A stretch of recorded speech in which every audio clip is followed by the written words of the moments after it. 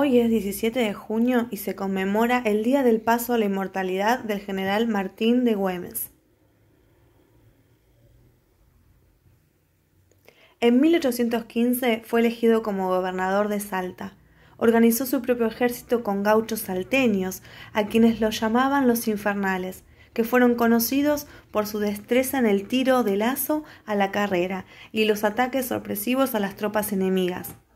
Con ellos logró resistir seis invasiones realistas en la frontera norte del país. En 1999 se declaró el 17 de junio como Día Nacional de la Libertad Latinoamericana, en conmemoración del fallecimiento de Güemes.